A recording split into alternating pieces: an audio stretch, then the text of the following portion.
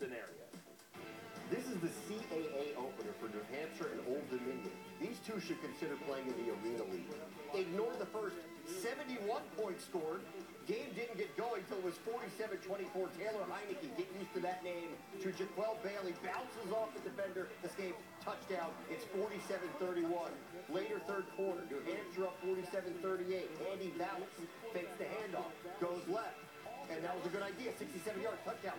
54-38 after three quarters. 54-38.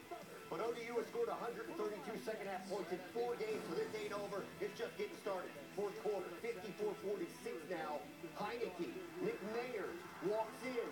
They get the two-point conversion, tied at 54. Three minutes to go. Game now tied at 61. At their own 44 is Heinicke. Over the middle. Mayer down to the 33-yard line. He had 12 for 271 yards, three touchdowns. 44 seconds to go. They're lining up for a 25-yard field goal. Splits the uprights. ODU wins. Heinicke, 55 of 79. 730 yards. That is a Division One record. Let's go beyond the box score where the record books were torn to shreds in this one. Heinicke sets the Division One record for passing yards and total offense, breaking the record set by David Klingler at Houston.